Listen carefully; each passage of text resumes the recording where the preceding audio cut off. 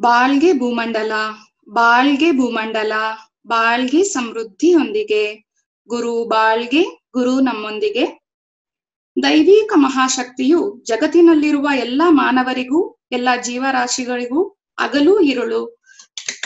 ಎಲ್ಲಾ ಸಮಯಗಳಲ್ಲೂ, ಎಲ್ಲಾ ಸ್ಥಳಗಳಲ್ಲೂ, ಎಲ್ಲಾ ಉದ್ಯೋಗಗಳಲ್ಲೂ ಸಹವರ್ತಿಯಾಗಿಯೂ, ಸಂರಕ್ಷಣೆಯಾಗಿಯೂ, ಮಾರ್ಗದರ್ಶಕವಾಗಿಯೂ ಇರಲಿ ಎಂದು ಹಾರೈಸುತ್ತಾ ಗುರು ತತ್ವಜ್ಞಾನಿ ವೇದಾದ್ರಿ ಮಹರ್ಷಿಯವರನ್ನು ವಂದಿಸಿ ಈ ಸಭೆಯನ್ನು ಆರಂಭಿಸೋಣ. ವಿಶ್ವ ಸಮುದಾಯ ಸೇವಾ ಸಂಘ ಕರ್ನಾಟಕ ವಲಯ ಆಯೋಜಿಸಿರುವ ಈ ಆಧ್ಯಾತ್ಮಿಕ ಅಧಿವೇಶನದಲ್ಲಿ ಭಾಗವಹಿಸುತ್ತಿರುವ ಎಲ್ಲ ಯೋಗ ಬಂಧುಗಳಿಗೂ ಹೃದಯಪೂರ್ವಕವಾಗಿ ಸ್ವಾಗತಿಸುತ್ತೇನೆ. ಈ ದಿನ ನಮ್ಮೊಂದಿಗಿದ್ದಾರೆ ವಿಶ್ವ ಸಮುದಾಯ ಸೇವಾ ಸಂಘ ಕರ್ನಾಟಕ ವಲಯದ ಹಿರಿಯ ಸ್ಕೈ ಪ್ರಾಧ್ಯಾಪಕರಾದ ವಿಜಯ ನಾಗರಾಜ್ ಮೇಡಮ್ ಇವರು ಗೃಹಿಣಿಯಾಗಿದ್ದು ಸುಮಾರು ಇಪ್ಪತ್ತು ವರ್ಷಗಳಿಂದ ನಮ್ಮ ಗುರುಗಳಾದ ವೇದಾದ್ರಿ ಮಹರ್ಷಿಯವರ ತತ್ವಗಳನ್ನು ಅಳವಡಿಸಿಕೊಂಡು ಅದನ್ನು ಸ್ಕೈ ಸಂಸ್ಥೆಗಳಲ್ಲಿ ಬೋಧಿಸುತ್ತಿದ್ದಾರೆ. ಈಗ ಹಿರಿಯ ಪ್ರಾಧ್ಯಾಪಕರಾದ ವಿಜಯ ನಾಗರಾಜ್ ಮೇಡಮ್ ರವರಿಂದ ಪ್ರಕೃತಿ, ಸಂಸ್ಕೃತಿ, ವಿಕೃತಿ ಎಂಬ ಅದ್ಭುತವಾದ ಚಿಂತನೆಯನ್ನು ಕೇಳಲಿದ್ದೇವೆ. ಬಾಳ್ಗೆ ಸಮೃದ್ಧಿಯೊಂದಿಗೆ ಮೇಡಮ್ ಬಾಳ್ಗೆ ಸಮೃದ್ಧಿ ಹೊಂದಿಗೆ ಎಲ್ಲಾ ಕಡೆಯಿಂದ ಈ ಆಧ್ಯಾತ್ಮಿಕ ಜ್ಞಾನದಲ್ಲಿ ಭಾಗವಹಿಸಿರ್ತಕ್ಕಂತ ನನ್ನ ಎಲ್ಲ ಯೋಗ ಬಂಧುಗಳಿಗೂ ನನ್ನ ತುಂಬು ಹೃದಯದ ವಂದನೆಗಳನ್ನ ಅರ್ಪಿಸ್ತಾ ಇದ್ದೇನೆ. ಎಲ್ಲೆಲ್ಲೂ ತುಂಬಿರ್ತಕ್ಕಂತ ಸೂಕ್ಷ್ಮ ಶರೀರದಲ್ಲಿ ನಮ್ಮೆಲ್ಲರನ್ನ ಆಶೀರ್ವದಿಸುತ್ತಿರ್ತಕ್ಕಂತ ಗುರು ಯೋಗಿರಾಜ್ ವೇದಾದ್ರಿ ಮಹರ್ಷಿಯವರ ಪಾದವನ್ನ ಮುಟ್ಟಿ ನಮಸ್ಕರಿಸಿ, ಅವರ ಆಶೀರ್ವಾದದೊಂದಿಗೆ ಅವರಿತ್ತ ಅರಿವನ್ನು, ಅವರಿತ್ತ ಜ್ಞಾನವನ್ನು ಎಷ್ಟು ಮಟ್ಟಿಗೆ ನನಗೆ ಗೊತ್ತಿದೆಯೋ ಅಷ್ಟು ನಿಮ್ಮೆಲ್ಲರೊಂದಿಗೆ ಹಂಚ್ಕೊಳ್ತಾ ಇದ್ದೇನೆ. ಪ್ರೀತಿಯ ಸ್ನೇಹಿತರೆ, ಇಂದಿನ ಈ ದಿನಕ್ಕೆ ಈಗ ಇರ್ತಕ್ಕಂಥ ಸಮಾಜದಲ್ಲಿರ್ತಕ್ಕಂಥ ಈ ಪರಿಸ್ಥಿತಿಗೆ ಕಾರಣ ಏನು ಅಂತ ನಾವು ತಿಳ್ಕೊಬೇಕಾದ್ರೆ, ಈ ಮೂರರ ಅರ್ಥ ನಮ್ಗೆ ಗೊತ್ತಿರ್ಬೇಕು. ಪ್ರಕೃತಿ. ಪ್ರಕೃತಿ ಅಂದ್ರೆ ಏನು? ಸಂಸ್ಕೃತಿ ಅಂದ್ರೆ ಏನು? ವಿಕೃತಿ ಅಂದ್ರೆ ಏನು? ಏನ್ ಮೇಡಮ್ ನಮಗ್ ಪ್ರಕೃತಿ ಗೊತ್ತಿಲ್ವಾ? ಗೊತ್ತಿದೆ. ಎಲ್ಲರಿಗೂ ಗೊತ್ತಿದೆ ಪ್ರಕೃತಿ ಅಂದ್ರೆ ಏನಂತ. ಏನು ಪ್ರಕೃತಿ ಅಂದ್ರೆ? ನಾವ್ ಎಲ್ಲಿದ್ದೀವಿ? ಭೂಮಿ ಮೇಲೆ ಇದ್ದೀವಿ ಈ ಭೂಮಿ ಎಲ್ಲಿದೆ? ವಿಶ್ವದಲ್ಲಿ ಇದೆ. ಅಲ್ವಾ? ವಿಶ್ವ. ವಿಶ್ವವನ್ನೆಲ್ಲ ತಿಳ್ಕೊಳ್ಳೋದಿಕ್ಕೆ ತುಂಬಾ ಸಮಯ ಬೇಕು. ನಮ್ಮ ಭೂಮಿಯನ್ನು ತೆಗೆದುಕೊಳ್ಳೋಣ. ಭೂಮಿ, ನೀರು, ಬೆಂಕಿ, ಗಾಳಿ, ಆಕಾಶ್ ಇವೆಲ್ಲ ಪ್ರಕೃತಿ. ಅಲ್ವಾ? ಈ ಪ್ರಕೃತಿಯಲ್ಲಿ ಭೂಮಿ ಮೇಲೆ ಇರ್ತಕ್ಕಂತ ಎಲ್ಲೆಲ್ಲ ನೋಡಿ. ನದಿಗಳು, ಸಪ್ತ ಸಮುದ್ರಗಳಿದಾವೆ. ಹಲವಾರು ನದಿಗಳಿದೆ, ಜಲಪಾತಗಳಿದೆ ಗಿಡ ಮರಗಳಿದೆ ಎಂಬತ್ ನಾಲ್ಕು ಲಕ್ಷ ಜೀವ ರಾಶಿಗಳು ಈ ಭೂಮಿ ಮೇಲೆ ನಮ್ಮನ್ನ ಬಿಟ್ಟು ಉಳಿದೆಲ್ಲ ಜೀವರಾಶಿಗಳು ಎಷ್ಟು ಹ್ಯಾಪಿಯಾಗಿದ್ದಾವೆ ಗೊತ್ತಾ? ಎಷ್ಟು ಸಂತೋಷವಾಗಿದ್ದಾವೆ ಗೊತ್ತಾ? ಎಂಜಾಯ್ ಮಾಡ್ತಾ ಇದೆ. ಅವೆಲ್ಲ ಪ್ರಕೃತಿಯನ್ನ ನೋಡಕ್ ಮಾತ್ರ ತನ್ನ ಕಣ್ಗಳನ್ನ ಇಟ್ಕೊಂಡಿದ್ದಾವೆ. ಅವುಗಳ ಪಂಚೇಂದ್ರಿಯಗಳನ್ನ ಬರೀ ಪ್ರಕೃತಿಯನ್ನ ನೋಡಿ ಆನಂದಿಸಿ ಆ ಪ್ರತಿ, ಪ್ರಕೃತಿಗೆ ಕೃತಜ್ಞತೆಯನ್ನ ಸಲ್ಲಿಸಿ ಬಹಳ ಆನಂದದಿಂದ ಜೀವಿಸ್ತಾ ಇದ್ದಾರೆ ಅಲ್ವಾ? ಆದ್ರೆ ಮನುಷ್ಯನಿಗೆ ಯಾಕೆ ಇದೆಲ್ಲ ನೋಡಿ ಸಂತೋಷ ಪಡ್ತಕ್ಕಂತ ಒಂದು ಮನಸ್ಥಿತಿ ಇಲ್ಲ? ಯಾಕೆ? ಕಾಡೆಲ್ಲ ನಾಡಾಗಿದೆ, ಅಲ್ವಾ? ಎಲ್ಲ ಸಿಟಿ ಆಗ್ಬಿಟ್ಟಿದೆ. ನಮ್ಗೆ ಪ್ರಕೃತಿನ ನೋಡ್ಬೇಕಂತಂದ್ರೆ ಇಲ್ಲ ಟ್ರಿಪ್ ಹೋಗ್ಬೇಕು, ಇಲ್ಲ ಟಿವಿನಲ್ಲಿ ನೋಡ್ಬೇಕು, ಇಲ್ಲ ಪಿಕ್ಚರ್ ಅಲ್ಲಿ ನೋಡ್ಬೇಕು ಅಂತ ಸ್ಥಿತಿ ಬಂದಿದೆ. ಪ್ರಕೃತಿ ಆರಾಧ್ಯ ದೈವ. ಪ್ರಕೃತಿ ಅಂದ್ರೆ ಏನಪ್ಪಾ ಅಂದ್ರೆ ದೈವ, ಅಲ್ವಾ? ನೋಡಿ, ಎಲ್ಲಾ ಕಡೆನು ಒಂದು, ಯಾವ್ದೊಂದನ್ನು ಮನುಷ್ಯ ಮಾಡಕ್ಕಾಗೋದಿಲ್ವೋ ಅದೇ ದೈವ. ಮಣ್ಣನ್ ಮಾಡಕ್ಕಾಗುತ್ತಾ? ಕಲ್ ಮಾಡಕ್ಕಾಗುತ್ತಾ? ನೀರ್ ಮಾಡಕ್ಕಾಗುತ್ತಾ? ಒಂದ್ ಹಣ್ಣನ್ನ ಮಾಡಕ್ಕಾಗುತ್ತಾ ನಾವು? ಅಲ್ವಾ? ಯಾವುದೊಂದನ್ನು ನಾವು ಮಾಡಕ್ಕಾಗಲ್ಲ. ಅಷ್ಟೊಂದು ಅದ್ಭುತವಾಗಿ ದೈವ ನಿಮಿತವಾಗಿರ್ತಕ್ಕಂಥದ್ದೇ ಈ ಪ್ರಕೃತಿ. ಈ ಪ್ರಕೃತಿನಲ್ಲಿ ನಾವೆಲ್ಲ ತುಂಬಾ ಸಂತೋಷವಾಗಿರ್ತೀವಿ ಅನ್ನೋ ಒಂದು ನಂಬಿಕೆಯಿಂದನೇ ದೈವ ನಮ್ಮನ್ನೆಲ್ಲ ಸೃಷ್ಟಿಸಿದೆ ಈ ಭೂಮಿ ಮೇಲೆ. ಆದ್ರೆ ನಮಗೆ ಅದನ್ನ ನೋಡಿ ಆನಂದ ಪಡೋಂತ ಆನಂದ ಪಡೋದ್ರಿಂದ ವಂಚಿತರಾಗ್ಬಿಟ್ಟಿದೆ ಅಲ್ವಾ? ಈ ಪ್ರಕೃತಿನೇ ಬಿಟ್ಟು, ಈ ಪ್ರಕೃತಿ ಒಳಗಡೆ ಇರ್ತಕ್ಕಂಥ ನಾವು ಹೇಗೆ ಬದುಕ್ಬೇಕು ಅನ್ನೋದೇ ಸಂಸ್ಕೃತಿ. ಸಂಸ್ಕೃತಿ ಅಂದ್ರೆ ಪ್ರಕೃತಿಯನ್ನು ನೋಡಿ ಆ ವಸ್ತುಗಳನ್ನು ಮಾನವ ತನ್ನ ಆರನೇ ಅರಿವಿನ ಮೂಲಕ, ಅದರ ಎಲ್ಲಾ ಪ್ರಕೃತಿಯಲ್ಲಿರೋ ಎಲ್ಲ ವಸ್ತುಗಳನ್ನ ತನ್ನ ಅರಿವಿನ ಮೂಲಕ ರೂಪ, ವಾಸನೆ, ರುಚಿ ಅವುಗಳನ್ನು ಬದಲಾಯಿಸಿ ಆನಂದಿಸುವುದೇ ಸಂಸ್ಕೃತಿ. ತಾನೂ ಆನಂದಿಸ್ಬೇಕು, ಇತರರಿಗೂ ಅದನ್ನ ಉಳಿಸಿ ಹೋಗೋದೇ ಸಂಸ್ಕೃತಿ.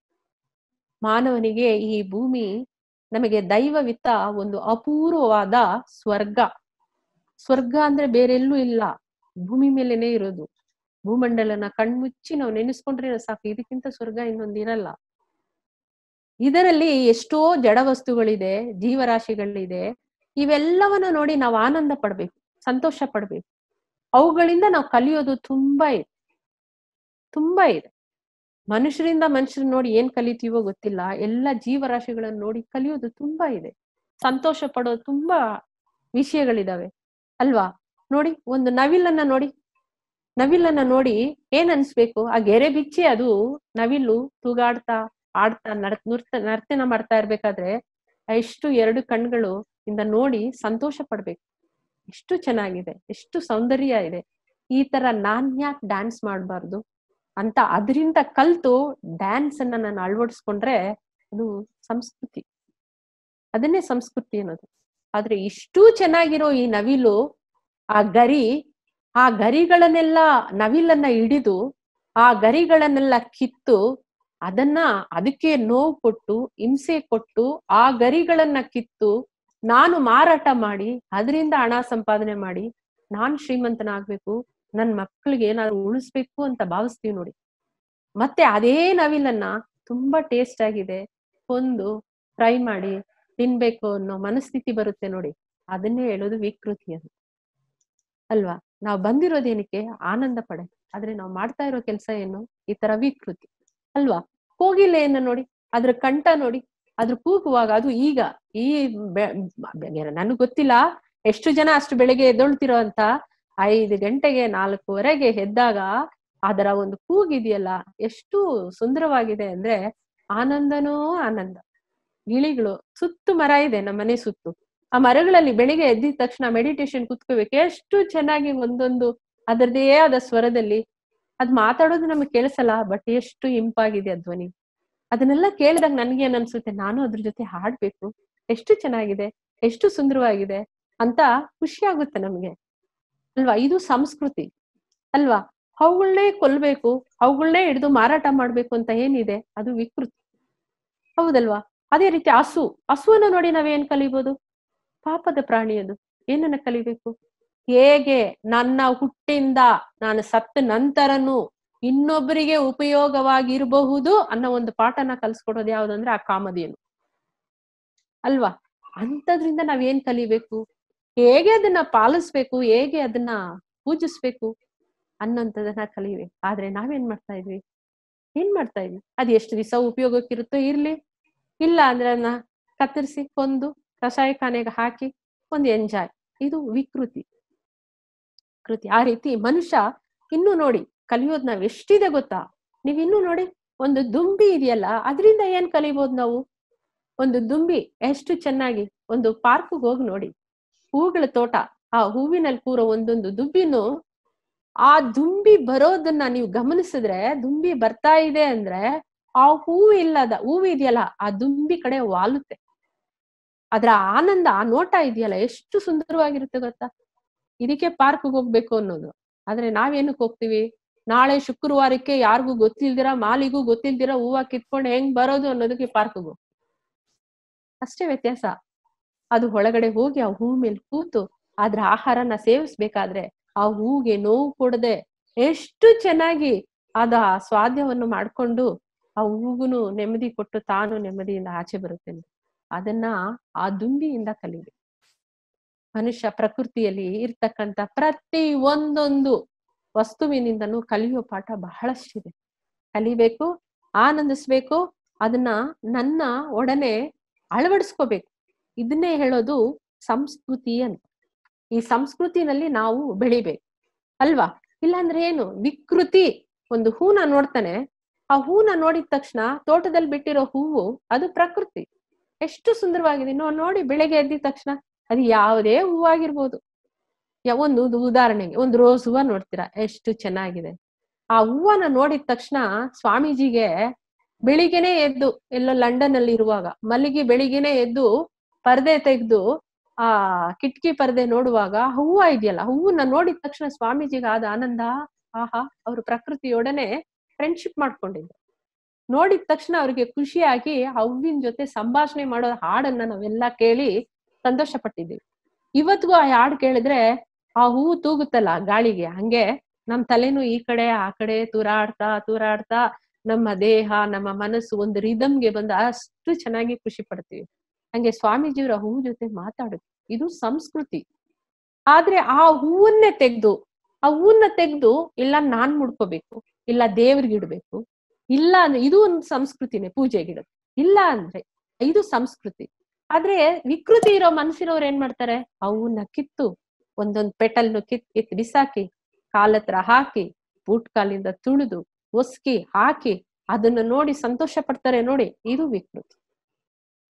ಯಾಕೆ ಮಾನವನ ವಿಕಾಸ ಇಷ್ಟು ಆಗಿನು ಯಾಕೆ ಮನುಷ್ಯ ಇವತ್ತು ಮನೆಯಿಂದ ಆಚೆ ಬರದೇ ಇರೋ ತರ ಇಷ್ಟು ಹಿಂಸೆ ಪಟ್ಟು, ಇಷ್ಟು ಕರೋನಾದಿಂದ ಇಷ್ಟು ದುಃಖಕ್ಕೆ ಕಾರಣ ಆಗಿರೋದಕ್ಕೆ ಏನ್ ಕಾರಣ ಅಂತ ನೀವು ಒಂದೊಂದು ಒಂದೊಂದು ಪಾಯಿಂಟ್ ಅಲ್ಲೂ ನೀವು ಯೋಚನೆ ಮಾಡ್ಕೊಂಡು ಹೋಗಿ. ಕರೆಕ್ಟ್ ಅಂತ ಅನ್ಸುತ್ತೆ ನಿಮ್ಗೆನೆ. ಅಲ್ವಾ? ಆ ತರ ಮಾಡ್ತಾನೆ ಮನುಷ್ಯ. ಇದನ್ನ ವಿಕೃತಿ ಅಂತ ಹೇಳ್ತೀವಿ. ಅಲ್ವಾ?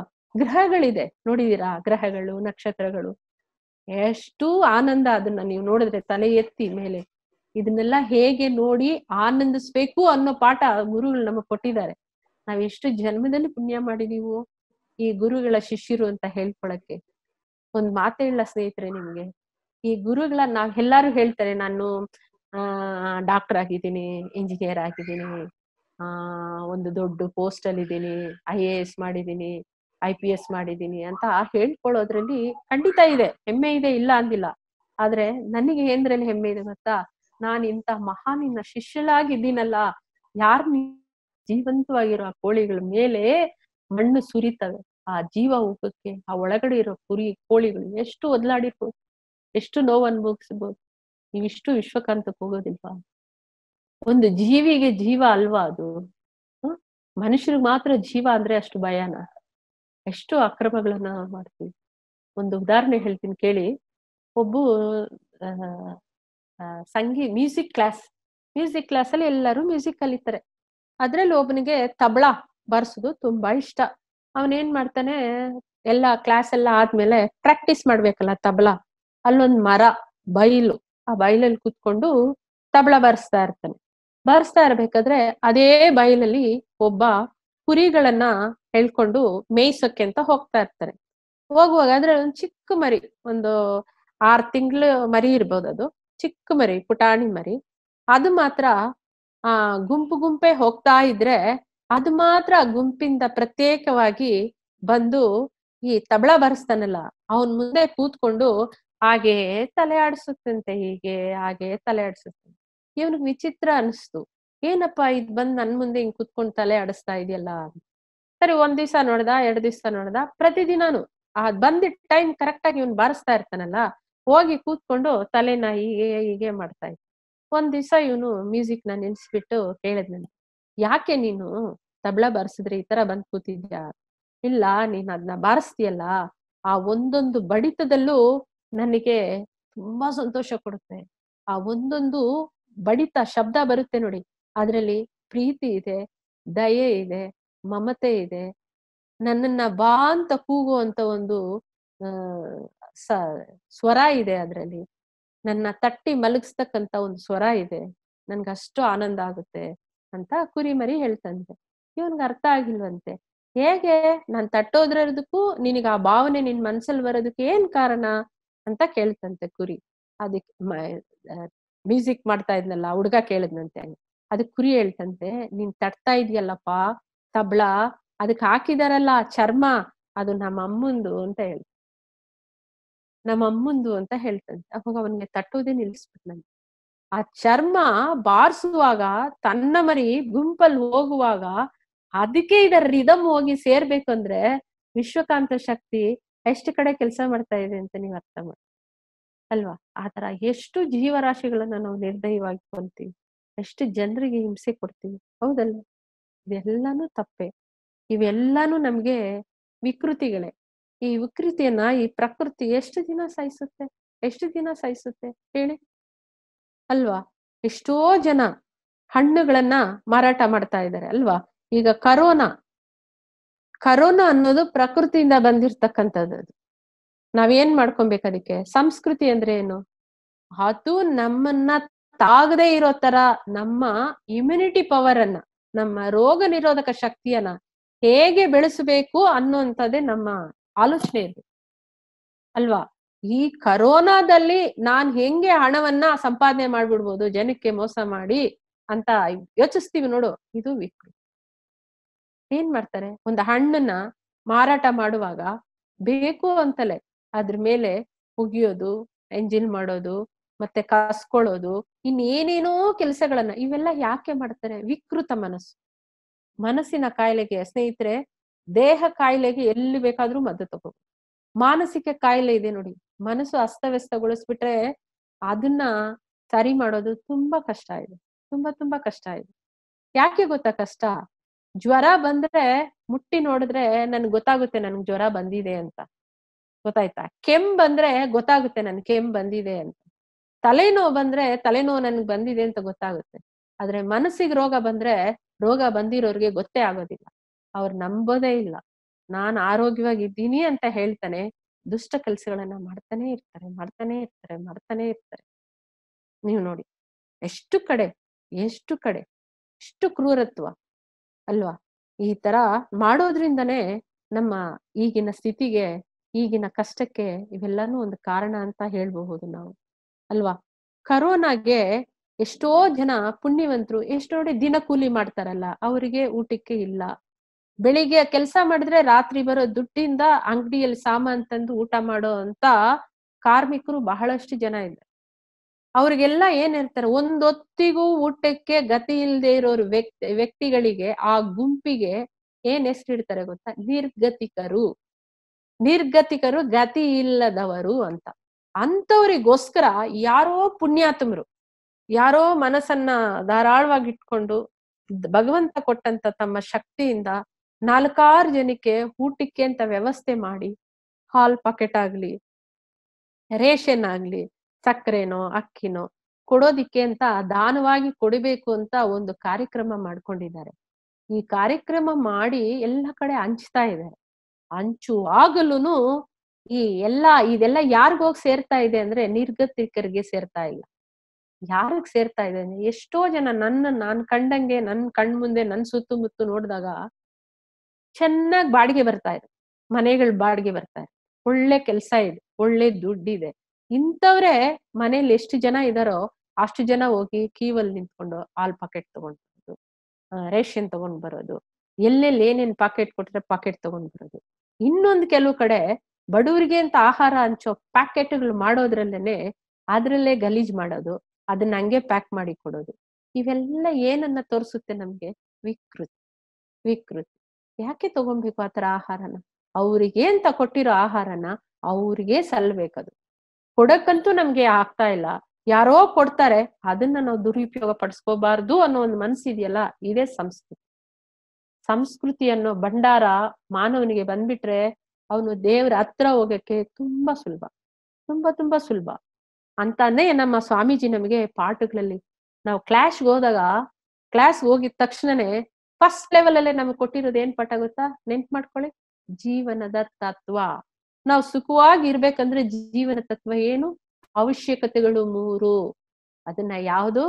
ಹಸಿವು, ಬಟ್ಟೆ, ಇರಕ್ ಮನೆ, ವಿಸರ್ಜನೆ ವಸ್ತು ಈ ಮೂರು ನಮಗಿದ್ರೆ ಸಾಕು ಸುಖವಾಗಿರ್ಬೋದು ಅಂತ. ಹೌದಲ್ವಾ? ರಕ್ಷಣೆ. ರಕ್ಷಣೆಗಳು ಮೂರು. ಪ್ರಕೃತಿ ವಿಕೋಪದಿಂದ ಅಲ್ವಾ? ಆಕ್ಸಿಡೆಂಟ್ ಇಂದ ಜೀವರಾಶಿಗಳಿಂದ. ಇವುಗಳಿಂದ ನಾವು ಹೇಗೆ ರಕ್ಷಿಸ್ಕೋಬೇಕು ಅಂತ ಮಹರ್ಷಿ ನಮ್ಗೆ ಕೊಟ್ಟಿಬಿಟ್ಟಿದ್ದಾರೆ. ನಾವೆಲ್ಲರೂ ಒಂದು ಸೈಂಟಿಸ್ಟೇ, ಮಹರ್ಷಿಯವರ ತತ್ವ ಕೇಳಿದಿರ್ತಕ್ಕಂಥ ನಾವೆಲ್ಲ ಒಂದು ವಿಜ್ಞಾನಿಗಳೇ. ನಾವೆಲ್ಲ ಒಂದು ಡಾಕ್ಟ್ರೇ. ನಮ್ಮನ್ನ ಅವನ್ ಕಾಪಾಡ್ಕೊಳಕ್ಕೆ. ನಮ್ಮನ್ನ ನಾವು ಆರೋಗ್ಯವಾಗಿರೋದಕ್ಕೆ ಕೊಟ್ಟಿದ್ದಾರೆ. ಅದನ್ನ ನಾವು ಪಾಲನೆ ಮಾಡ್ತಾ ಇರೋದ್ರಿಂದನೇ ನಾವುಗಳು ಇಷ್ಟು ಯೋಗ, ಕುಂಡಲಿನಿ ಯೋಗಿಗಳು ಇಷ್ಟು ಆರೋಗ್ಯವಾಗಿರೋದಕ್ಕೆ ಸಾಧ್ಯ ಆಗಿದೆ. ಅಲ್ವಾ? ಅದೇ ರೀತಿ ಧರ್ಮದ ನಿಯಮಗಳು. ಆ ಮೂರು ಕೊಟ್ಟಿದ್ದಾರೆ. ಆ ಧರ್ಮದ ನಿಯಮಗಳಲ್ಲಿ ಏನ್ ಕೊಟ್ಟಿದ್ದಾರೆ? ಎಲ್ಲವನ್ನು ಯಾವ ರೀತಿ ಬದುಕ್ಬೇಕು? ನಂಬಿಕೆ, ಮತ್ತೆ ಕರ್ತವ್ಯ, ಡ್ಯೂಟಿ ಅಲ್ವಾ? ಹೇಗೆ ನಾವು ಡ್ಯೂಟಿ ಮಾಡ್ಬೇಕು? ಹೇಗೆ ದಾನ ಧರ್ಮ ಮಾಡ್ಬೇಕು ಅಂತ ಅನ್ನೋದನ್ನ ನಮ್ಗೆ ಕೊಟ್ಟಿದ್ದಾರೆ. ಅದನ್ನ ಕಲ್ತ್ ಬಿಟ್ರೇನೆ ಸಾಕು. ಇನ್ ಬೇರೇನು ಬೇಕಾಗಿಲ್ಲ. ಲಾಸ್ಟ್ ಅರಿವಿನ ಹಂತಗಳು. ಅರಿವಿನ ಹಂತಗಳಲ್ಲಿ ತಿಳುವಳಿಕೆ, ನಂಬಿಕೆ, ಆತ್ಮ ಸಾಕ್ಷಾತ್ಕಾರ. ಇನ್ನೇನ್ ಬೇಕು ನಮಗೆ? ಇವಿಷ್ಟುನು ನಾವು ವೇದಾದ್ರಿ ತತ್ವದಲ್ಲಿರೋ ನಾವು, ನಮ್ಮ ಯೋಗ ಬಂಧುಗಳು ಪಾಲಿಸ್ಬಿಟ್ರೆ ಅಮ್ಮ, ನಾವು ಇವತ್ತು ಪ್ರಕೃತಿ ಮಧ್ಯೆ ಸಂಸ್ಕೃತಿಯನ್ನ ಇಟ್ಕೊಂಡು ಮಾನವರಾಗಿ, ಮಾನವರಿಂದ ದೈವತ್ಗೆ ಹೋಗೋದಿಕ್ಕೆ ಯಾವುದೇ ಸಂದೇಹ ಇಲ್ಲ. ನಾವ್ ಯಾರು ಈ ವಿಕೃತಿ ಅನ್ನೋ ಪದದ ಹತ್ರನೂ ನಾವು ಹೋಗಕ್ಕೆ ಆಗಲ್ಲ. ಹಂಗೆ ಸ್ವಾಮೀಜಿ ನಮ್ಮ ಸಂಸ್ಥೆಗೆ ಇಟ್ಟ ಹೆಸರೇನು? ಏನ್ ಹೇಳಿ? ಮನೋ ವಿಕಾಸ ಕಲಾ ಕೇಂದ್ರ. ಅವ್ರು ಫಸ್ಟ್ ದೇಹ ಆರೋಗ್ಯ ಅಂದಿಲ್ಲ, ಮನಸ್ಸಿನ ಆರೋಗ್ಯ. ಮನಸ್ಸು ಆರೋಗ್ಯವಾಗಿದ್ರೆ ಸ್ನೇಹಿತರೆ ಯಾರಿಗೂ ತೊಂದರೆ ಕೊಡಲ್ಲ. ಮನಸ್ಸನ್ನ ಆರೋಗ್ಯವಾಗಿ ಇಟ್ಕೋಬೇಕು ಈ ಮನಸ್ಸಿನ ಇಮ್ಯುನಿಟಿಯನ್ನ ಬೆಳೆಸ್ಕೋಬೇಕು. ಈ ಇಮ್ಯುನಿಟಿಯನ್ನ ಬೆಳೆಸ್ಕೊಳ್ಳೋದಿಕ್ಕೇನೆ ಮಹರ್ಷಿ ತತ್ವ ನಮ್ಗೆ ತುಂಬಾ ತುಂಬಾ ತುಂಬಾ ಪ್ರಯೋಜನ ಆಗ್ತಾ ಇದೆ. ಅಲ್ವಾ? ಈ ಎಲ್ಲವನ್ನ ನಾವು ತಿಳ್ಕೊಂಡು ನಾವು ಬದುಕಿದ್ರೆ ಹೇಗೆ? ಅಟ್ಲೀಸ್ಟ್ ನಾನು ಹೇಳೋದು, ಯಾರೆಲ್ಲ ಈ ಸಂಸ್ಥೆನಲ್ಲಿದೀವೋ, ಯಾರೆಲ್ಲ ವೇದಾದ್ರಿ ಮಹರ್ಷಿ ಆಗಿದೀವೋ, ನಾವು ಉಪ ಏನು ಫ್ರೀಯಾಗಿ ಬರ್ತಕ್ಕಂಥದನ್ನ ನಿರ್ಗತಿಕರಿಗೆ ಕೊಡ್ತಕ್ಕಂತ ಹಂಚ್ತಕ್ಕಂತ ಆಹಾರವನ್ನ ನಾವು ಮುಟ್ಟಲ್ಲ ಅನ್ನೋ ಒಂದು ಶಬ್ದವನ್ನ ಮಾಡಿ. ಏನಿದೆಯೋ ಅದು ಅವ್ರಿಗೆ ಹೋಗಿ ಸಲ್ಲಲಿ ಆ ಬಡವರಿಗೆ ಹೋಗಿ ಸೇರ್ಲಿ ಅನ್ನೋಂತ ಒಂದು ಹಾರೈಕೆನ ನೀವು ಮನಸ್ಸಲ್ಲಿ ಇಟ್ಕೊಳ್ಳಿ. ಆದ್ರೆ ನಾವು ಜೊತೆ ಸೇರಿ ನಾಲ್ಕು ಜನಕ್ಕೆ ಊಟ ಕೊಡೋದು, ನಿಮ್ಮಿಂದ ಏನಾಗುತ್ತೆ ಸಹಾಯ ಅದನ್ನ ಮಾಡೋಣ. ಮಾಡ್ತಾ ಇರ್ಬೇಕಾದ್ರೆ ನಮ್ಗೆ ವೇದಾದ್ರಿ ಮಹರ್ಷಿ ಎಲ್ಲೇ ಇರ್ಲಿ, ಅವ್ರು ನಮ್ಮನ್ನ ಆಶೀರ್ವಾದ ಮಾಡ್ತಾನೆ ಇರ್ತಾರೆ. ಮನಸ್ಸನ್ನ ಆರೋಗ್ಯವಾಗಿ ಇಡೋದಕ್ಕೋಸ್ಕರನೇ ಪ್ರತಿನಿತ್ಯ ನಮ್ಗೆ ಮಹರ್ಷಿ ಕೊಟ್ಟಿರೋ ಧ್ಯಾನ. ಧ್ಯಾನ ಧ್ಯಾನ. ಇವಾಗ್ಲೂ ಅಷ್ಟೇ ಫಸ್ಟ್ ಧ್ಯಾನ. ಯಾಕೆ? ಇದು ಮನಸ್ಸಿಗೆ ಟ್ರೀಟ್ಮೆಂಟ್ ಮನಸ್ಸಿಗೆ ಶಕ್ತಿ, ಮನಸ್ಸಿಗೆ ಟಾನಿಕ್ ಇದೆಲ್ಲ.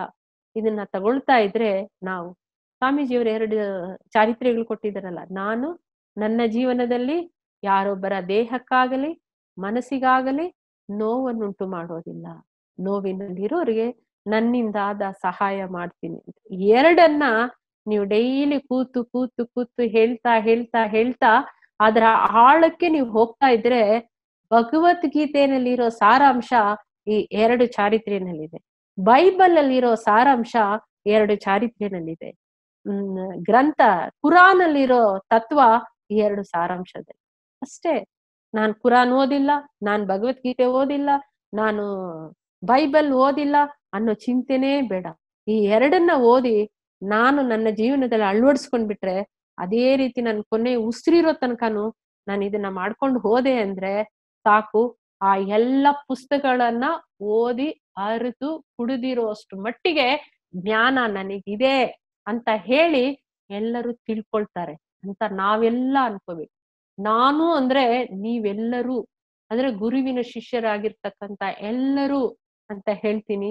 ಇದು ನಿಜವಾಗ್ಲು ಎಷ್ಟು ಜನ್ಮ ಜನ್ಮಾಂತರದ ಒಂದು ಪುಣ್ಯನೋ ನಾವು ಈ ಸಂಸ್ಥೆನಲ್ಲಿದ್ದು ಗುರುವಿನ ಶಿಷ್ಯರಾಗಿರೋದು. ಇದಿಷ್ಟನ್ನ ತಿಳ್ಕೊಂಡು ನಾವು ಮನುಷ್ಯರಾಗಿ ತಮ್ಮ ಪ್ರಕೃತಿಯನ್ನ ಪೂಜಿಸುತ್ತಾ ಸಂಸ್ಕೃತಿಯನ್ನ ಅಳವಡಿಸ್ಕೊಂಡು ಗುರುವಿನ ಶಿಷ್ಯರು ಅಂತ ಅನ್ನೋದಕ್ಕೆ ಯಾವುದೇ ತರ ಒಂದು ಚುತ್ಯವನ್ನ ಬಾರದೆ ಇರೋ ತರ ಹೆಮ್ಮೆಯಿಂದ ಖುಷಿ ಖುಷಿಯಾಗಿ ನಗ್ನಗ್ತಾ ನಾವು ಜೀವಿಸೋಣ ಸಮಾಜದಲ್ಲಿ ಇರೋರ್ನು ಆನಂದವಾಗಿ ಇಡೋದಿಕ್ಕೆ ನಾವು ಪ್ರಯತ್ನ ಪಡೋಣ ಅಂತ ಹೇಳಿ ಈ ಎರಡು ಮಾತುಗಳನ್ನ ನಾನು ಮುಗಿಸ್ತಾ ಇದ್ದೀನಿ. ಬಾಳ್ಗೆ ಸಮೃದ್ಧಿ ಒಂದು. ಬಾಳ್ಗೆ ಸಮೃದ್ಧಿಯೊಂದಿಗೆ ಮೇಡಮ್ ಬಾಳ್ಗೆ ಸಮೃದ್ಧಿಯೊಂದಿಗೆ ಮಾ. ಸ್ನೇಹಿತರೆ ಇವತ್ತು ಎಷ್ಟು ಒಳ್ಳೆಯ ಅದ್ಭುತವಾದ ಚಿಂತನೆಯನ್ನು ನೀಡಿದ ವಿದ್ಯಾ ನಾಗರಾಜ್ ಮೇಡಮ್ ರವರಿಗೆ ವಂದನೆಗಳು. ಸ್ನೇಹಿತರೆ ನಿಮ್ಮ ನಿಮ್ಮೆಲ್ಲರಲ್ಲೂ ಒಂದು ವಿನಂತಿ. ಇವತ್ತಿನ ಚಿಂತನೆಯಲ್ಲಿ ಏನಾದ್ರೂ ನಿಮ್ಗೆ ಪ್ರಶ್ನೆ ಕೇಳೋದಿದ್ರೆ ಮಾತ್ರ ನೀವು ಹ್ಯಾಂಡ್ಸ್ ರೇಸ್ ಮಾಡಿದ್ರೆ ಒಳ್ಳೇದು. ಮೊದಲಿಗೆ ವರಲಕ್ಷ್ಮಿ. ಹಾ ಬಾಳ್ಗೆ ಸಮೃದ್ಧಿಯೊಂದಿಗೆ ಮೇಡಮ್ ಬಾಳ್ಗೆ ಸಮೃದ್ಧಿಯೊಂದಿಗೆ ಮಾ? ಹಾ ಮೇಡಮ್ ಅದೇ. ಚೆನ್ನಾಗಿತ್ತು ಮೇಡಮ್ ನಿಮ್ದು ಪಾಠ ಥ್ಯಾಂಕ್ ಮಾಡಿದ್ದು. You thank you thank you ಮಾ. ಆ ಇತರ ಜೀವರಾಶಿಗಳು ಮೇಡಮ್ ಪ್ರಕೃತಿಗೆ ಹೊಂದ್ಕೊಂಡು ಹೋಗ್ತಿವೆ. ಆದ್ರೆ ಮಾನವ ಮಾತ್ರ ಪ್ರಕೃತಿಗೆ ವಿರುದ್ಧವಾಗಿ ಹೋಗ್ತಿದ್ನಲ್ಲ ಹೋಗ್ತಿದಾನಲ್ಲ ಅದು ಅವನ ಅಜ್ಞಾನನ ಅಥವಾ ಅವನ ಅಲ್ಲಿರುವ ಅರಿವಿನ ಮಟ್ಟ ಕಡಿಮೆನಾ ಅಂತ ಮೇಡಮ್ ಅದು ಅವನ ಅಜ್ಞಾನನೇ. ಅಜ್ಞಾನ ಅರಿವಿನ ಮಟ್ಟ ಕಡಿಮೆ. ಅವನಿಗೆ ಅರಿವಿದೆ. ಆದ್ರೆ ಆ ಹಣದ ಹಿಂದೆ ಓಡ್ತಾ ಇದ್ದಾನಲ್ಲ ಓಡ್ತಾ ಇದ್ದಾನಲ್ಲ ಅದರಿಂದ ಅರಿವು ಮುಚ್ಕೊಂಡ್ಬಿಡುತ್ತೆ. ಮುಚ್ಕೊಂಡ್ಬಿಡುತ್ತೆ. ಹಣನ ಸಂಪಾದನೆ ಮಾಡಕ್ಕೆ ಹೇಗಾದ್ರೂ ಸಂಪಾದನೆ ಮಾಡ್ಬೇಕು. ಹೇಗಾದ್ರೂ ನಾನು ಶ್ರೀಮಂತ ಆಗ್ಬೇಕು ಅನ್ನೋ ಗುರಿ ತಿಳುವಳಿಕೆನ ಕಡಿಮೆ ಮಾಡ್ಬಿಡುತ್ತೆ. ಅದರಿಂದನೇ ಜಾಗೃತ ಸ್ಥಿತಿನಲ್ಲಿ ಇರ್ಬೇಕು ನಾವ್ ಯಾವಾಗ್ಲೂ ಜಾಗೃತ ಸ್ಥಿತಿನಲ್ಲಿ ಇರ್ಬೇಕು. ಯು ಬಾಳ್ಗೆ ಸಮೃದ್ಧಿ. ರಾಜ್ಕುಮಾರ ಟಿ. ಬಾಳ್ಗೆ ಸಮೃದ್ಧಿಯೊಂದಿಗೆ ಮೇಡಮ್ ಬಾಳ್ಗೆ ಸಮೃದ್ಧಿಯೊಂದಿಗೆ ಹೇಳಿ ಸರ್. ಈ ದಿನದ ಪ್ರಕೃತಿ ಸಂಸ್ಕೃತಿ ವಿಕೃತಿ ಪಾಠ ತುಂಬಾ ಸವಿಸ್ತಾರವಾಗಿ ಹೇಳಿದ್ರಿ ಮೇಡಮ್ ನೀವು. ಥ್ಯಾಂಕ್ ಯು ಸರ್ ಒಳ್ಳೆ ಒಳ್ಳೆ ಉದಾಹರಣೆಗಳನ್ನ ಕೊಟ್ರಿ ಸೂಪರ್ ಇತ್ತು ಮೇಡಮ್ ಚೆನ್ನಾಗಿತ್ತು. Thank you sir thank corona virus ಬಂದಿರೋದ್ರಿಂದ ಜನಗಳಿಗೆ ಮಾತ್ರ ತೊಂದರೆ ಆಗಿದೆ. ಪ್ರಾಣಿಗಳಿಗೆ ತುಂಬಾ ಸಂತೋಷವಾಗಿದೆ ಮೇಡಮ್ ಅವು ಹ್ಯಾಪಿ ಆಗಿದಾವೆ ಹೌದು ಹ್ಯಾಪಿ ಆಗಿದೆ ಮೇಡಮ್ ರೋಡಲ್ಲೆಲ್ಲ ಹೌದು. ಮೊನ್ನೆ ಜಿಂಕೆಗಳು ನೋಡಿದೆ ಸೂಪರ್ ಹೌದು. ಹೌದು ಹೌದು ಹೌದು. ಆನಂದವಾಗಿ ಸ್ವಚ್ಛಂದವಾಗಿ ಕರ್ತಾವೆ ಆ ಮತ್ತೆ ನದಿ ನದಿಗಳು. ಎಲ್ಲ ಸ್ವಚ್ಛವಾಗಿದಾವೆ ನದಿಗಳು ಎಲ್ಲ ಎಲ್ಲ ಸ್ವಚ್ಛವಾಗಿದೆ ಮೇಡಮ್ ಎಲ್ಲ ಸ್ವಚ್ಛವಾಗಿದೆ. ಅದಕ್ಕೆ ಕರೋನಾ ಒಂದು ಶಾಪವಲ್ಲಪ್ಪ. ಶಾಪ ಅಲ್ಲ ಮೇಡಮ್. ಅಲ್ಲ ಶಾಪ ಅಲ್ಲ. ನಮ್ಮನ್ನ ಪ್ರಕೃತಿ ಇರ್ತಕ್ಕಂತ ಪ್ರಾಣಿ ನಮ್ಮನ್ನ ಆನಂದ ಹೌದು ನಮ್ಮನ್ನ ನಾವು ತಿದ್ಕೊಳಕ್ಕೆ. ಪ್ರಾಣಿಗಳಿಗೆ ಎಷ್ಟು ಕೋಟಿ ಪ್ರಾಣಿಗಳು ದೇವರೇ ನನ್ನ ಈ ಮನುಷ್ಯರಿಂದ ರಕ್ಷಿಸು ಅಂತ ಹಾ, ಹೌದು ಮೇಡಮ್. ಇವತ್ತು ಎಷ್ಟೋ ಹುಲಿಗಳು ಊರಿಗೆ ಬರ್ತಾ. ಇದಾವೆ. ಹುಲಿ ಊರಿಗೆ ಬಂದು ಮಗು ಎತ್ಕೊಂಡು ಹೋಗ್ತಾ ಇದಾವೆ. ಹೋಗ್ತಾ ಇದಾವೆ ಅಲ್ವಾ? ಎಷ್ಟು ಕೋಳಿ ಕುರಿಗಳು ಪ್ರಾಣಿಗಳು ಎಷ್ಟು ದೇವರನ್ನ ಬೇಡಿದವೋ ದೇವರು. ನಮ್ಮನ್ನ ನಮ್ಮನ್ನ ಜೈಲಲ್ಲಿ ಇಟ್ಟು ಅವ್ರಿಗೆ ಸ್ವತಂತ್ರ ಕೊಟ್ಟಿದ್ದಾನೆ. ಹೌದು. ಹೌದು ತುಂಬಾ ತುಂಬಾ ಚೆನ್ನಾಗಿತ್ತು ಮೇಡಮ್ ಪಾಠ ಮಾತ್ರ. Thank you sir thank you Vijayalakshmi? ಬಾಳ್ಗೆ ಸಮೃದ್ಧಿಯೊಂದಿಗೆ ಮೇಡಮ್ ಬಾಳ್ಗೆ ಸಮೃದ್ಧಿಯೊಂದಿಗೆ ಶಂಕರ ಮಠ ಆ ಗೊತ್ತಾಯ್ತು ಮಾ ವಾಯ್ಸ್ ಅಲ್ಲೇ ಗೊತ್ತಾಯ್ತು ಹೇಳಿ. ತುಂಬಾ ಚೆನ್ನಾಗಿತ್ತು. ಹೇಳಿ ಮೇಡಮ್ ಥ್ಯಾಂಕ್ ಯು ಏನು ಕೊರತೆ ಇಲ್ಲ ಅಷ್ಟು ಚೆನ್ನಾಗಿತ್ತು. ಹಾ ಹೇಳಿ ಹಲೋ? ಹಲೋ ಹೇಳಿ ಹೇಳಿ. ಈ ಹಾ ಕರೋನಾ ಅನ್ನೋದು ಪ್ರಕೃತಿನ ವಿಕೃತಿನ. ಅದು ಪ್ರಕೃತಿ. ನಮಗೆ ಪಾಠ ಕಲ್ಸಕ್ಕೆ ಬಂದಿರ್ತಕ್ಕಂತ ಪ್ರಕೃತಿನೇ ನಮ್ಮ ಎಂಬತ್ನಾಲ್ಕು ಕೋಟಿ ಜೀವರಾಶಿಗಳಲ್ಲಿ ಅದು ಒಂದು ಜೀವ. ಬಟ್ ಎಲ್ಲಾ ಜೀವಿಯನ್ನ ಆಟ ಆಡ್ಸಕ್ ನಮ್ಗೆ ಗೊತ್ತು. ಕರೋನಾನ ಆಟ ಆಡ್ಸೋಕೆ ಅರಿವು ಬೆಳೆಸ್ಕೊಳ್ಳೋ ಅಷ್ಟರಲ್ಲಿ ಅದು ನಮ್ಮನ್ನ ಎಷ್ಟು ಮುಗಿಸ್ಬೇಕೋ ಅಷ್ಟು ಮುಗಿಸ್ಬಿಟ್ಟು ಹೋಗುತ್ತೆ ಅಷ್ಟೇ. ಬಟ್ ಕೆಲವರ ಹೇಳಿಕೆ ಇದು ಮ್ಯಾನ್ ಮೇಡ್ ಮಾಫಿಯಾ ಇದು ಅಂತ ಹೇಳ್ತಾ ಇದಾರಲ್ಲ ಅದೇನದು? ಮ್ಯಾನ್ ಮೇಡ್ ಅಲ್ಲ ಅದೆಲ್ಲ ಸಾಧ್ಯ ಇಲ್ಲಮ್ಮ. ಅಷ್ಟು ದೊಡ್ಡವನ. ಇಲ್ಲ ಮನುಷ್ಯ. ಹ್ಮ್. ಇದೆಲ್ಲ ಪ್ರಕೃತಿ. ಅದು ಒಂದು ಜೀವನೆ. ಅಣು ಅಲ್ವಾ? ಅದು ಒಂದು ಅಣು. ಬ್ಯಾಕ್ಟೀರಿಯಾ ತಾನೆ? ಬ್ಯಾಕ್ಟೀರಿಯಾ ತಾನೆ ಅದು? ಮತ್ತೆ ಆತರ ಹೌದು ಹೌದು ಓ ಥ್ಯಾಂಕ್ ಯು ಹೋಳ್ಕೆಮ್ಮ ಬಾಳ್ಗೆ ಸಮೃದ್ಧಿ. ಗ್ಯಾಲಾಕ್ಸಿ ಬಾಳ್ಗೆ ಸಮೃದ್ಧಿಯೊಂದಿಗೆ? ಬಾಳಿಗೆ ಸಮೃದ್ಧಿ ಮೇಡಮ್. ನಾನು ಎಲ್ ಜನಕೇಂದ್ರದಿಂದ ಅನಂತರಾಜ್ ಬಾಳ್ಗೆ ಸರ್. ನೆಕ್ಸ್ಟ್ ಟೈಮ್ ಜಾಯಿನ್ ಆಗೋವಾಗ ದಯವಿಟ್ಟು ನಿಮ್ಮ ಹೆಸರು ಹಾಕಿ ಜಾಯಿನ್ ಆಗಿ ಸರ್. ಬಾಳ್ಗೆ ಸಮೃದ್ಧಿಯೊಂದಿಗೆ ಅನಂತರಾಜ್ ಅಂತ ಮಾತಾಡೋದು. ಹೇಳಿ ಸರ್. ಹೇಳಿ ಸರ್. ತುಂಬಾ ಅಭಿನಂದನೆಗಳು ಮೇಡಮ್. ಬಹಳ ಚೆನ್ನಾಗಿ ಮಾಡಿದ್ರಿ ನೀವು.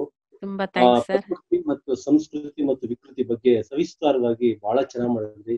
ಇವತ್ತು ನೋಡಿ ನಾವು ವಿಕೃತರಾಗಿರೋದ್ರಿಂದ ನಾವು ವಾಸ ಮಾಡೋ ಜಾಗದಲ್ಲಿ ನಾವ್ ಇಲ್ಲ ನಾವು ಖಾಲಿ ಆಗಿದೀವಿ ಆ ಜಾಗದಲ್ಲಿ ಬಂದು ಸಂಸ್ಕೃತಿನ ಆಚರಣೆ ಮಾಡುವಂತ ಪ್ರಾಣಿಗಳು ಬಂದು ಇದರಲ್ಲೇ ಹಂಡ್ರೆಡ್. Percent hundred percent. ಇದ್ರಲ್ಲೇ ಗೊತ್ತಾಗಬೇಕು ಎಷ್ಟು ದ್ರೋಹ ಮಾಡಿದ್ದೀವಿ ಜ್ಞಾನೋದಯ ಆಗ್ಬೇಕು. ಗೊತ್ತಾಗ್ತಾ ಇದೆ ಮೇಡಮ್. ಬೆಳಿಗ್ಗೆ ಹೊತ್ತು ಪಕ್ಷಿಗಳೆಲ್ಲ ಹೊರಗಡೆ ಬರ್ತಾ ಇದೆ ಇಷ್ಟು ದಿನ ಇರ್ಲಿಲ್ಲ ಈಗ. ಬರ್ತಾ ಇದೆ ಅಂದ್ರೆ. ನಿಜವಾಗ್ಲು ಇದ್ರಲ್ಲಿ ನಮ್ಗೆ ಒಂದು ಪಾಠ ಮೇಡಮ್ ನಿಜವಾಗ್ಲು. ಪಾಠನೇ ಸರ್ ನೀವು ನೀವು ಅದನ್ನ ಸವಿಸ್ತಾರವಾಗಿ ನಮಗೆ ಮಂದಟ್ ಮಾಡ್ಕೊಟ್ರಿ. ತುಂಬಾ ಧನ್ಯವಾದಗಳು ತುಂಬಾ ತುಂಬಾ thank you sir thank you thank you sir Vasantha? ಹಾ ನಮಸ್ಕಾರ ಮೇಡಮ್ ನಮಸ್ಕಾರಮ್ಮ ಹೇಳಿ. ನಾನು ಮುತ್ಯಾನಗರ ಧ್ಯಾನ ಕೇಂದ್ರದಿಂದ ಮಾತಾಡ್ತಾ ಇದ್ದೀನಿ. ಹೇಳಿಮ್ಮ ಹೇಳಿಮ್ಮ ನಿಮ್ಮನ್ನ ಎರಡ್ ಮೂರು ವರ್ಷದಿಂದನೇ ನೋಡಿದ್ದೆ ಒಳೆಯಾರ್ನಲ್ಲಿ ನೋಡಿದ್ದೆ. ಇವಾಗ ತುಂಬಾ ಖುಷಿ ಆಯ್ತು. ಸಬ್ಜೆಕ್ಟ್ ಪ್ರಕೃತಿ ಸಂಸ್ಕೃತಿ ವಿಕೃತಿ ವಿತ್. ಉದಾಹರಣೆಗಳ ಸಮೇತ ಬಹಳ ಚೆನ್ನಾಗಿ ಮನದಟ್ಟು ಮಾಡ್ಕೊಟ್ಟಿದ್ದೀರಾ? ಥ್ಯಾಂಕ್ ಯು ಮಾ ತುಂಬಾ ಧನ್ಯವಾದಗಳು. ಹಾಗೆ ನಂದೊಂದು ಪ್ರಶ್ನೆ. ಸ- ಮಾಂಸಾಹಾರ ಇದು ಇದ್ರ ಬಗ್ಗೆ ಏನ್ ಹೇಳ್ತೀರಾ ಮೇಡಮ್ ನೀವು? ಇದು ಪ್ರಕೃತಿ ಸಮತೋಲನ ಇರ್ಬೇಕು ಅಂದ್ರೆ ಅನಿವಾರ್ಯನಾ? ಪ್ರಕೃತಿ ಸಮತೋಲನ ಮಾಡೋದಿಕ್ಕೆ ನಾವು ನೀವು ಯಾರು? ಅದು ಪ್ರಕೃತಿನೇ ಮಾಡುತ್ತೆ ಸಮತೋಲನ. ಹಾಗಂತೀರಾ? ಹೌದು ಅದೇ ಮಾಡುತ್ತೆ. ಇದೇನೋ ಸಾಮಾನ್ಯ ಪ್ರಕೃತಿ- ಪ್ರಕೃತಿ ಸಮತೋಲನ ಮಾಡೋದಕ್ಕೆ ಬರೀ ಕೋಳಿ ಕುರಿ ಎರಡು ಮಾತ್ರ ಕಂಟ್ರೋಲ್ ಮಾಡಕ್ ನಮ್ ಕೈಯಲ್ಲಿದ್ಯಾ? ಹಾವು ಹುಲಿ ಚಿರತೆ ಜಿಂಕೆ ಕಾಡಲ್ಲಿರೋ ಸಾವಿರಾರು ಜೀವರಾಶಿಗಳಿಗೆ ಆಹಾರ ಇತ್ತವರು ಯಾರು. ಯಾವ್ಯಾವ ಹುಲಿಗೆ ಒಂದು ಜಿಂಕೆ ಬೇಕು ಅಂದ್ರೆ ಮರಿ ಹಾಕೋಷ್ಟು ಟೈಮ್ಗೆ ಕರೆಕ್ಟ್ ಆಗಿ ಜಿಂಕೆಯ ಸಂತತಿ ಸ್ಟಾರ್ಟ್ ಆಗುತ್ತೆ. ಬ್ಯಾಲೆನ್ಸ್ ಮಾಡುತ್ತೆ ಪ್ರಕೃತಿ.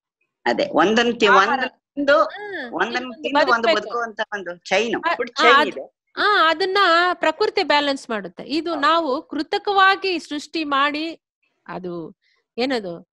ಪ್ಲಾನ್ ಮಾಡಿ ನಾವು. ಪ್ರಾಣಿಗಳನ್ನ ಕೊಲ್ಲೋದಕ್ಕೆ ಅಂತ ಪ್ಲಾನ್ ಮಾಡಿ ಮಾಡೋದು. ಇದು ಬ್ಯಾಲೆನ್ಸ್ ಅಲ್ಲ. ಇಂಬ್ಯಾಲೆನ್ಸ್ ಹೌದು. ಹೌದು. ಪ್ರಕೃತಿ ಪ್ರಕೃತಿಗೆ ದ್ರೋಹ ಅನ್ಬೋದು. ಈ ಮೂರದು ಒಂದು ಕಾಂಬಿನೇಷನ್ ಪ್ರಕೃತಿ ವಿಕೃತಿ ಸಂಸ್ಕೃತಿ ವಿತ್ ಎಕ್ಸಾಂಪಲ್ಸ್ ಬಹಳ ಚೆನ್ನಾಗಿ ಹೇಳ್ಕೊಟ್ರಿ ಮೇಡಮ್ ತುಂಬಾನೇ ಚೆನ್ನಾಗಿತ್ತು ಸೂಪರ್ ಆಗಿತ್ತು ಮೇಡಮ್ ಥ್ಯಾಂಕ್ ಯು ಖಂಡಿತ. ಬಾಳ್ಗೆ ಸಮೃದ್ಧಿಯೊಂದಿಗೆ. ಬಾಳ್ಗೆ ಸಮೃದ್ಧಿಯೊಂದಿಗೆ. ಸುಗಂಧಿನಿ? ಬಾಳ್ಗೆ ಸಮೃದ್ಧಿಯೊಂದಿಗೆ ಮೇಡಮ್ ಬಾಳ್ಗೆ ಸಮೃದ್ಧಿಯೊಂದಿಗೆ ಮಂಡ್ಯ ಹೂವೆ ಹೇಳು. ಆತ್ಮ ಆತ್ಮಗಳ ಮಿಲನ ಮೇಡಮ್ ತುಂಬಾ ಹೌದು. ಥ್ಯಾಂಕ್ ಯು ಆಳಿಯಾರ್ ಫೀಲ್ ಆಗ್ತಾ ಇದೆ ನಮ್ಗೆ ಒಂದು ವಾರದಿಂದ. ರಸದ ಹೌದ ಹೌದು ಹೌದು ಹೌದು ರಸದೌತಣ. ಏನೂ ಇಲ್ಲ. ಮೇಡಮ್ ಪ್ರಶ್ನೆ ಬಂದು ಈಗ ಹಿಂದೆ ಇಬ್ರು ಹೇಳಿದ್ರು ಈ. ಕರೋನಾ ವೈರಸ್ ಅನ್ನೋದು ಮಾನವ ನಿರ್ಮಿತವಾದದ್ದು ಅಂತ. ಈ ಭೂಮಿ ಮೇಲೆ ಯಾವುದೇ ಒಂದು ವಿಶ್ವದಲ್ಲೇ ಒಂದು ಕ್ರಿಯೆ ನಡಿಬೇಕು ಅಂದ್ರೆ ಒಂದು ದೈವದ ಪ್ರೇರೇಪಣೆ ಇಲ್ಲದೆ ಯಾವ ಕ್ರಿಯೆನೂ ನಡೆಯಲ್ಲ. ಇದು ಸತ್ಯ ಹೌದು. ಹೌದು ಆಗಿದ್ರೆ ಈ. ಕರೋನಾ ವೈರಸ್ ಉತ್ಪತ್ತಿ ಆಗ್ಬೇಕಾದ್ರೂ ಅದರಿಂದ ದೈವದ ಪ್ರೇರೇಪಣೆ ಖಂಡಿತ ಇದೆ ಅನ್ಸುತ್ತೆ ಮೇಡಮ್? ದೈವದ ಪ್ಲಾನ್ ಒಂದ್. ಹೇಳ ಸುಗಂಧಿ ನೀನ್ ಕೇಳಿದಿಕ್ಕೆ ಒಬ್ಬರ ಇಬ್ಬರ ಭಾವನೆಗಳಿಂದ ಕರೋನಾ ಬಂದಿಲ್ಲ. ಬಹಳಷ್ಟು ಜನರು ಶಾಲೆಗೆ ಹೋಗೋ ಮಕ್ಕಳು ಅಮ್ಮ ಒಂದು ದಿವಸ ನನ್ ಮನೇಲಿದ್ದು ಅಡ್ಗೆ ಮಾಡಿ ಪ್ರೀತಿ ಮಾಡಿ ನನ್ ಜೊತೆಗೆ ಇದ್ದು ತಿಂದು ಊಟ ಕೊಡ್ಲಿಲ್ಲ ಅನ್ನೋ ಭಾವನೆ. ಎಷ್ಟೋ ಗಂಡಂದಿರಿ ಹೆಂಡ್ತಿರ್ ಮನೇಲಿದ್ದು ಒಂದ್ ಟೈಮ್ ಆದ್ರೂ ಊಟ ಮಾಡಿ ಆಗ್ತಾಳ ಇವಳು ಅಂತ. ಎಷ್ಟೋ ಜನ ಹೆಂಡತಿರು ಇವ್ರ ಮನೆ ಮನೆ ಬೀದಿ ಬೀದಿ ಸುತ್ತಾರೆ ಮನೇಲಿ ಹೆಂಡತಿ ಜೊತೆ. ಮಕ್ಕಳ ಜೊತೆ ಒಂದ್ ದಿವ್ಸ ಇರಕ್ ಆಗ್ಲಿಲ್ವಾ ಅಂತ. ಅಲ್ವಾ? ಎಷ್ಟೋ ಪ್ರಾಣಿಗಳು ಇವರಿಂದ ನಮ್ಗೆ ಯಾವಾಗಪ್ಪ ಬಿಡುಗಡೆ ಅಂತ. ಆತರ ಹಲವಾರು ರೀತಿಯ ಥಾಟ್ಸೇ ಇವತ್ತು ಕರೋನಾ ಬಂದು ಈ ಸ್ತುತಿ ನಮ್ಗೆ ಪ್ರಕೃತಿಯ ಪಾಠ. ಹೌದು ಮೇಡಮ್. ಅದೇ ನೀವ್ ಹೇಳಿದ್ರು ಮೇಡಮ್ ಪ್ರಕೃತಿ ವಿರುದ್ಧ ಮಾನವ ನಡೀತಾ ಇರೋದು ಮತ್ತೆ ಪ್ರಕೃತಿನ ನಾಶ ಮಾಡಿರೋದೇ ಇದಕ್ಕೆ ಮೂಲ ಕಾರಣ ಹೌದು ತುಂಬಾ ತುಂಬಾ ಚೆನ್ನಾಗಿತ್ತು ಮೇಡಮ್. ಈಗ ಸಿಚುಯೇಷನ್ಗೆ ಈ ಮೂರು ಸಬ್ಜೆಕ್ಟ್ ತುಂಬಾ. ಚೆನ್ನಾಗಿ ಅಪ್ಲೈ ಆಯ್ತು. ಬಾಳ್ಗೆ ಸಮೃದ್ಧಿಯೊಂದಿಗೆ ಬಾಳ್ಗೆ ಸಮೃದ್ಧಿ ಅಂತ ಛಾಯಾ ಬಾಳ್ಗೆ ಸಮೃದ್ಧಿಯೊಂದಿಗೆ ಮೇಡಮ್ ವಿಜಯ ಮೇಡಮ್. ಹಾ ಹೇಳಿಮ್ಮ ಹೇಳಿಮ್ಮ ಬಾಳ್ಗೆ ಸಮೃದ್ಧಿ ನಾನು ಯಶವಂತಪುರ ಧ್ಯಾನ ಕೇಂದ್ರದಿಂದ. ಹಾ ಹೇಳಿಮ್ಮ ಹೇಳಿ ಸುಮಂಗ್ಲ. ಹೇಳಿಮ್ಮ ನಿಮ್ ವಾಯ್ಸ್ ಕೇಳಿ ಇವತ್ತು ಆಳಿಯರಲ್ಲೇ ಇದ್ದಂಗ ಅನ್ಸ್ತಾ ಇದೆ ಮೇಡಮ್. ಥ್ಯಾಂಕ್ ಯು ಮಾ. ನಿನ್ನೆ ಆಕ್ಚುಲಿ ನನ್ಗೆ ಧ್ಯಾನ ಮಾಡಕ್ ಆಗ್ಲಿಲ್ಲ ಕನೆಕ್ಟ್ ಆಗ್ಲಿಲ್ಲ. ಇವತ್ತು ಅರ್ಧ ಗಂಟೆ ಮುಂಚೆನೆ ಕುತ್ಕೊಂಡ್ಬಿಟ್ಟೆ ಮೇಡಮ್. ಓಕೆ ಮಾ ಓಕೆ ಓಕೆ ತುಂಬಾ ಥ್ಯಾಂಕ್ಸ್ ಮೇಡಮ್. ನೀವು ತುಂಬಾ ಚೆನ್ನಾಗಿ ಪಾಠ ಮಾಡ್ತೀರಾ ಮೇಡಮ್. ನಂಗೆ ತುಂಬಾ ಇಷ್ಟ ನೀವು ಮಾಡೋ ಪಾಠ. ಥ್ಯಾಂಕ್ ಯು ಬಗ್ಗೆ ಸಂಸ್ಕೃತಿ ಬಗ್ಗೆ ವಿಕೃತಿ ಬಗ್ಗೆ ಇವತ್ತಂತೂ ನನ್ ಮಕ್ಳಿಗೆಲ್ಲ ಕೂರ್ಸ್ಕೊಂಡ್ ಕೇಳಿಸ್ತಾ ಇದೀನಿ ಮೇಡಮ್ ಗಂಡ ಮಕ್ಳಿಗೆ. ಚೆನ್ನಾಗಿ ಮಾಡಿದ್ರ ಮೇಡಮ್. ಓಕೆ ಬಾಳ್ಗೆ ಸಮೃದ್ಧಿ ಏನು ಕ್ವಶನ್ಸ್ ಇಲ್ಲ ಆಕ್ಚುಲಿ ನಿಮ್ ಹತ್ರ. ನಿಮ್ ಥ್ಯಾಂಕ್ಸ್ ಹೇಳೋಣ ಧನ್ಯವಾದ ಹೇಳೋಣ ಅಂತಾನೆ ಮಾಡಿದೆ ಮೇಡಮ್. ಓಕೆ ಮಾ ಓಕೆ ಬಾಳ್ಗೆ ಸಮೃದ್ಧಿ.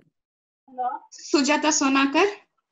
ಬಾಳ್ಗೆ ಸಮೃದ್ಧಿಯೊಂದಿಗೆ ಮಾ ಬಾಳ್ಗೆ ಬಾಳ್ಗೆ ಸಮೃದ್ಧಿ. ಸಮೃದ್ಧಿಯೊಂದಿಗೆ ಕೇಳಿ ಮೇಡಮ್. ಮೇಡಮ್ ಬಾಳ್ಗೆ ಸಮೃದ್ಧಿಯೊಂದಿಗೆ ಬಾಳ್ಗೆ ಬಾಳ್ಗೆ ಸಮೃದ್ಧಿಯೊಂದಿಗೆ ಹೇಳ್ಮಾ? ಮೇಡಮ್ ಎಷ್ಟೊಂದ್ ದಿವಸ ಆಯ್ತು ನಿಮ್ ಧ್ವನಿ ಕೇಳಿ ತುಂಬಾ ಸಂತೋಷ ಆಗ್ತಿದೆ ಮೇಡಮ್. ಸಮೃದ್ಧಿಯೊಂದಿಗೆ ಶಂಕರ್ ಬಾಳ್ಗೆ ತುಂಬಾ. ಪಾಠ ತುಂಬಾ ಚೆನ್ನಾಗಿತ್ತು. ಹೌದಮ್ಮ. ಈಗ ಕೋರ್ಸಲ್ಲಿ ಕೂತಿದೀವಿ ಅಂತ ಭಾವನೆ ಬರ್ತಾ ಇತ್ತು ಮೇಡಮ್. ಹೌದಾ. ತುಂಬಾ ಚೆನ್ನಾಗಿದೆ ಮೇಡಮ್. ನಮ್ ತಪ್ಪು ನಮ್ಗೆ ಅರಿವಾಗಕ್ಕೆ ಕಾಲ ಇದು ಮಾಡಿದೆ ಅಂತ ಕೊರೋನಾ ಅನ್ನೋ ರೂಪದಲ್ಲಿ ಅಂತ ತುಂಬಾ ಚೆನ್ನಾಗಿದೆ ಮೇಡಮ್. ಓಕೆ ಮಾ ನಾವು ಓಕೆ ತಿದ್ದುಕೊಳ್ಳೇಬೇಕು ಮೇಡಮ್ ಮಾನವರದು ನಾವೆಲ್ಲ. ಹೌದು ಮಾ ಹೌದು ಹೌದು. ಬಾಳ್ಗೆ ಸಮೃದ್ಧಿ. ಬಾಳ್ಗೆ ಸಮೃದ್ಧಿಯೊಂದಿಗೆ. ಬಾಳ್ಗೆ ಸಮೃದ್ಧಿಯೊಂದಿಗೆ ಸ್ನೇಹಿತರೆ ನಿಮ್ಮಲ್ಲಿ ಇವತ್ತಿನ ವಿಷಯದ ಬಗ್ಗೆ ಏನಾದ್ರೂ ಡೌಟ್ ಕ್ವೆಶನ್ ಕೇಳೋದಿದ್ರೆ ಮಾತ್ರ ಆನ್ಸ್ ರೈಸ್ ಮಾಡಿ. ಬಾಳ್ಗೆ ಸಮೃದ್ಧಿಯೊಂದಿಗೆ. ಚಂದ್ರಿಕಾ ರಾಜನ್? ಬಾಳ್ಗೆ ಸಮೃದ್ಧಿಯೊಂದಿಗೆ. ಬಾಳ್ಗೆ ಸಮೃದ್ಧಿಯೊಂದಿಗೆ. ಹೇಳಿ madam Bangalore Shivajinagar sky trust ಗೊತ್ತಾಯ್ತು ಮೇಡಮ್ ಗೊತ್ತಾಯ್ತು. ವಾಯ್ಸ್ ಅಲ್ಲೇ ಪ್ರಕೃತಿ ಪ್ರಕೃತಿ ವಿಕೃತಿ ಸಂಸ್ಕೃತಿ ಬಗ್ಗೆ ಮಾತಾಡ್ತೀನಿ ಅಂತ ಹೇಳಿದಾಗ ಅದ್ರ ಬಗ್ಗೆ ನಾನು ಸ್ವಲ್ಪ ಯೋಚನೆ ಮಾಡಿದೆ. ಈ ಸಬ್ಜೆಕ್ಟ್ನಲ್ಲಿ ಇದರಲ್ಲಿ ಏನ್ ಅಳವಡಿಸ್ಕೋತಾರೆ ಅನ್ನೋದ್ರ ಬಗ್ಗೆ ನನಗೆ ಸ್ವಲ್ಪ ಯೋಚನೆ ಮಾಡ್ಬೇಕಾಗಿತ್ತು. ಆದ್ರೆ ನೀವು ತುಂಬಾ ಚೆನ್ನಾಗಿ ವಿಶ್ಲೇಷಣೆ ಮಾಡಿದೀರಾ ಈ ವಿಕೃತಿ ಬಗ್ಗೆ ಹೇಗೆ ಒಂದು ಗಂಡು ಒಂದು ಹೆಣ್ಣನ್ನಾನೇ ಮಾಡ್ಕೋಬೇಕು ಇಲ್ಲದೆ ಆದ್ರೆ ಗಂಡು ಗಂಡನ್ ಮಾಡ್ಕೊಂಡ್ರೆ ಅದು ವಿಕೃತಿ ಆಗತ್ತೆ ಅನ್ನೋದನ್ನ ತುಂಬಾ ಚೆನ್ನಾಗಿ ಎಕ್ಸ್ಪ್ಲೇನ್ ಮಾಡಿದ್ದಾರೆ. ಮಾಡಿದ್ದೀರಾ ನೀವು? ತುಂಬಾ ಚೆನ್ನಾಗಿ ಎಕ್ಸ್ಪ್ಲೇನ್ ಮಾಡಿದ್ದೀರಾ? ಈ ತತ್ವನ ಪ್ರಪಂಚ ಪೂರ್ತಿ ಅಳವಡಿಸ್ಕೊಂಡ್ರೆ ಇವಾಗ ಹೆಚ್ಚೆಚ್ಚಾಗಿ ಈ ತರ ರಿಲೇಶನ್ಶಿಪ್ ಕಡಿಮೆ ಆಗತ್ತಲ್ವಾ? ಹೌದು ಹೌದು ಹೌದು ಹೌದು. ಹೌದು ಮಾ ಇದು ಸಮಯ ಇಲ್ಲ ನನ್ಗೆ. ಇಲ್ಲ ಅಂದ್ರೆ ಇದ್ರ ಬಗ್ಗೆ ತುಂಬಾ ಹೇಳ್ಬೋದಾಗಿತ್ತು. ಇದ್ರಿಂದ ಇವೆಲ್ಲ ವಿಕೃತಿನೇ. ಹ ಇದರಿಂದ ನಮ್ಮ ಸಮಾಜನೇ ಕೆಡ್ತಾ ಇದೆ ಅಲ್ವಮ್ಮ ಹೌದು ಹೌದು. ಹಂಡ್ರೆಡ್ ಪರ್ಸೆಂಟ್ ಹಂಡ್ರೆಡ್ ಪರ್ಸೆಂಟ್ ಪ್ರಕೃತಿಗೆ ವಿರುದ್ಧ ಇದು. ವಿಕೃತಿ ಇದು.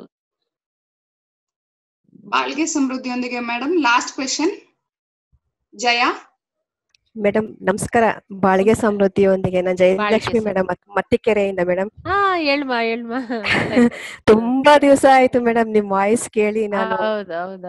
ಕ್ಲಾಸ್ ಬಿಟ್ಬಿಟ್ಟು ಇವಾಗ ಮನೆ ಇದೊಂದು ಒಂದು ತುಂಬಾ ಇದ ಎಕ್ಸ್ಪೀರಿಯನ್ಸ್ ನನ್ಗೆ ಇವಾಗ ಎಲ್ಲ ಅನುಭವ ಆ ಕ್ಲಾಸ್ ಬರ್ತಾ ಇದ್ದಿದ್ದು ನಿಮ್ ವಾಯ್ಸ್ ಕೇಳ್ತಾ ಇದ್ದು. ಈ ಪ್ರಕೃತಿ ಸಂಸ್ಕೃತಿ ವಿಕೃತಿ ಬಗ್ಗೆ ತುಂಬಾ ಚೆನ್ನಾಗಿ ಹೇಳಿದೀರಾ ಮೇಡಮ್.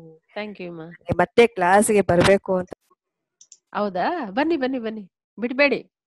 ಬಾಳ್ಗೆ ಸಮೃದ್ಧಿಯೊಂದಿಗೆ ಮೇಡಮ್ ಬಾಳ್ಗೆ ಸಮೃದ್ಧಿ. ಟೈಮ್ ಆಗಿದೆ ಮುಗಿಸ್ಕೊಳ್ಳೋಣ ಮೇಡಮ್ ಓಕೆ ಮಾ.